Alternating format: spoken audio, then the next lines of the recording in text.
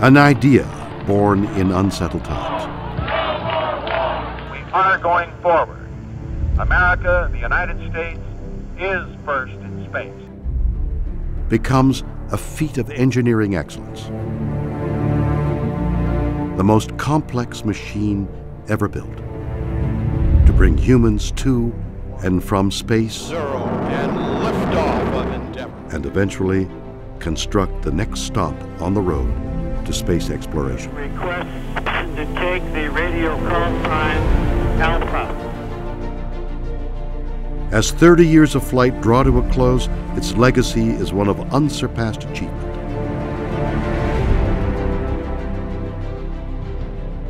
NASA Space Shuttle.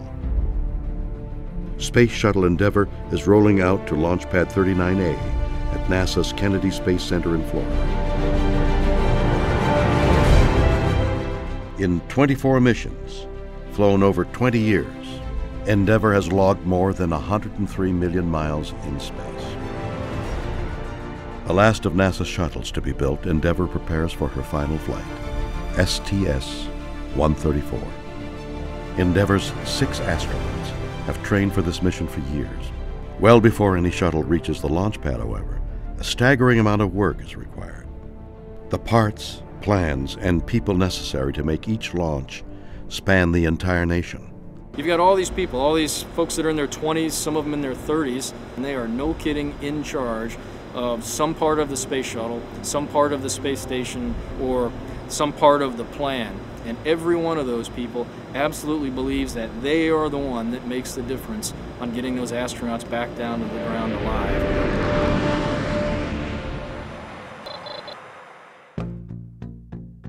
At NASA's Michoud Assembly Facility in New Orleans, production begins on the shuttle's external fuel tank. The last of 136 produced here since 1973.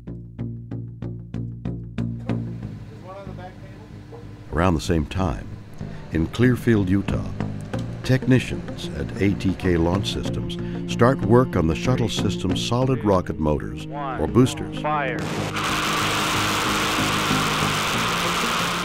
Unlike the orange external tank that is used only once, the boosters detach themselves and parachute into the Atlantic Ocean. They are then retrieved, refurbished, and reused on later missions.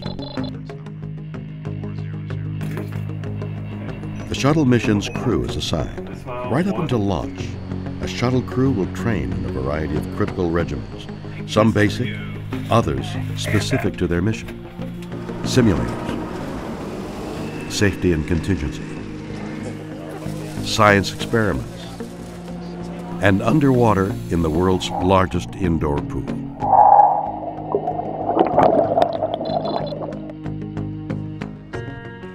One month later, the ET is mated to the solid rocket boosters to form the backbone of the stack. Now, all that's missing is the spacecraft itself.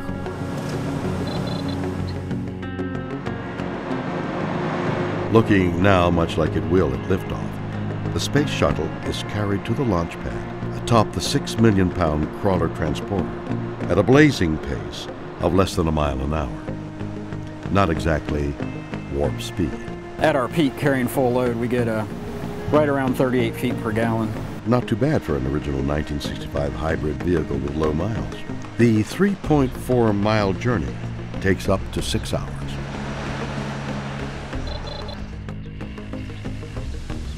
Now on the launch pad, the orbiter is ready to take on its main payload. Testing assures that the multi-ton cargo is secured and safely stowed in the payload bay before the technicians certify the orbiter is ready for launch. Flying T 38 aircraft from Ellington Field in Houston, the crew members arrive at Kennedy's shuttle landing facility. This is the NTD conducting the launch status check. All stations verify ready to resume count and go for launch. OTC, OTC go. TVC, TVC go. ETC. After nearly three years, hundreds of thousands of hours logged by engineers, technicians, scientists, seamstresses, electricians, and other program workers across the globe, We have main engine start. Two, one. Booster ignition. The shuttle makes its way skyward.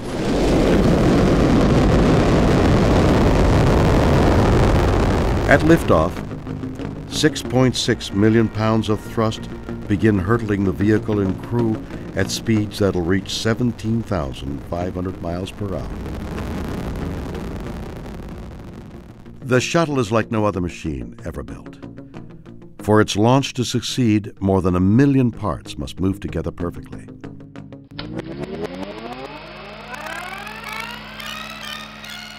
How this engineering marvel came to be is an amazing story that begins in the early 1970s. A new mission is sought for NASA to send humans into space, but Mars, for many the next logical step on the path of exploration, is dismissed as too costly, a destination for a country preoccupied with events back on Earth. Instead, on January 5, 1972, another destination is selected. low Earth orbit. President Nixon really liked the idea and, uh, and, and told the NASA administrator, go do it. And the NASA administrator got a call from OMB the next morning, someone there, and said, hey, what the president really meant to say was, you're going to get this much money. And so do as best you can with the space transportation system. And our choice, uh, logically, was you have to have a vehicle first. And so that, that was the birth of the space shuttle as the first in the three-part space transportation system. Many designs were considered. Often, they combined the best features of different concepts. One was the use of a lifting body, an aircraft with no conventional wings. Only its fuselage would keep the aircraft airborne and guide it safely back to Earth. At that time, they were looking at having jet engines on the shuttle for landing and for transporting it across the country. They were known as the flying bathtubs. For the first test, the M2F1 was towed behind a car, a souped-up Pontiac. Whitey Whitesides drove that Pontiac across the lake bed at about 120 miles per hour, dragging this flying bathtub behind it. As well as groundbreaking, their tests could also prove ground shaking.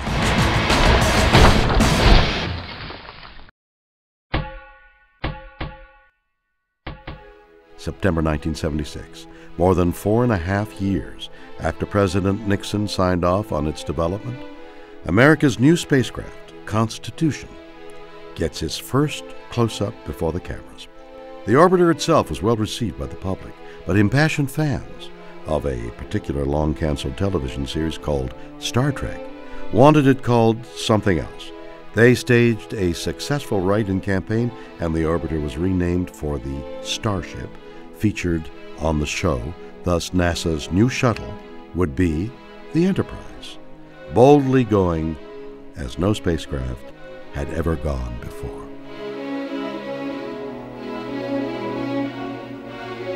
Whatever its name, this bird still needed to prove it could fly.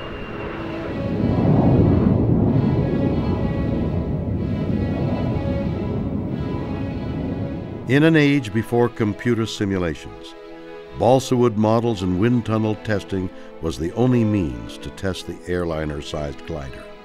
We put together a very aggressive uh, flight test profile that consisted of data points continuously all the way down.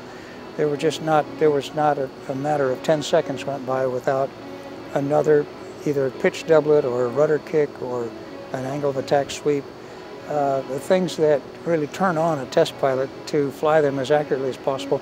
August 12, 1977. On a crystal clear California morning, high above the Mojave Desert, two NASA test pilots ready for Enterprise's first flight. The plan was for Fred Haise, Jr. and Gordon Fullerton to lift the orbiter off a modified 747, then land on a dry lake bed 15,000 feet below.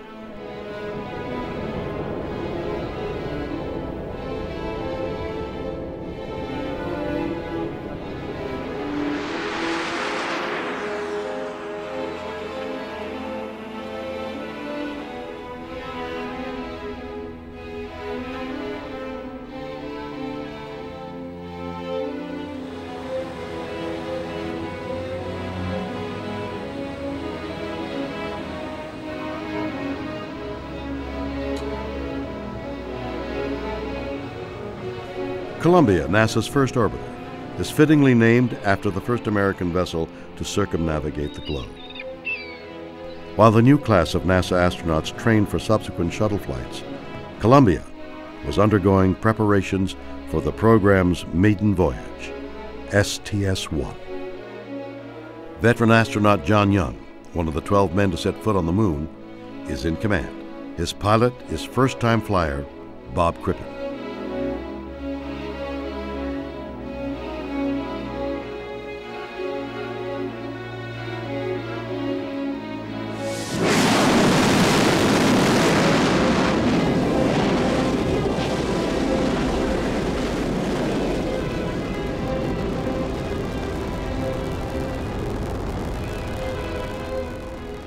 Together they would travel over a million miles and circle the Earth 36 times. John used to say, Crip, hey, they're getting ready to light off seven million pounds of thrust under you, and you're a little bit excited. You don't know what's going on. And both John and I knew what was going on.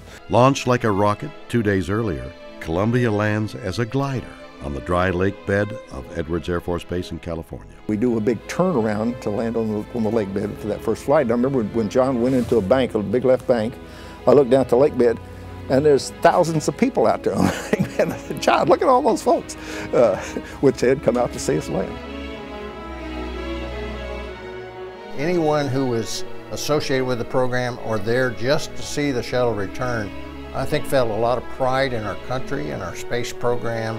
And so uh, that, those emotions were, you know, finally released and you said, wow, you know, the flight was uh, done safely, they're back home. Uh, the, the shuttle really does work. It's a great program. It's got a great future ahead of it. Liftoff of the Challenger of Columbia. Discovery, and the shuttle has clear landed.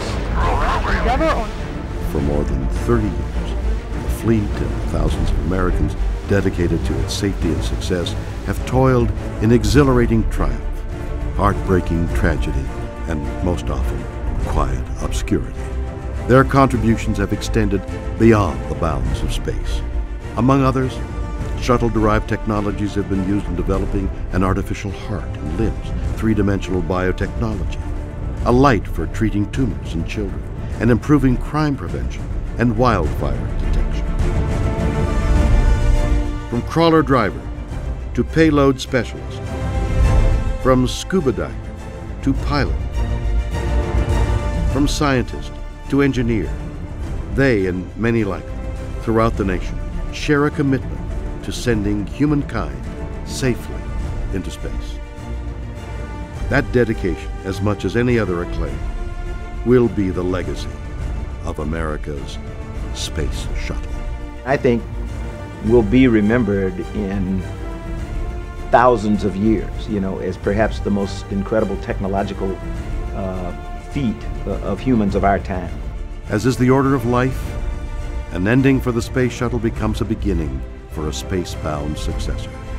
Soon, America will again send astronauts into orbit and beyond to do what NASA does best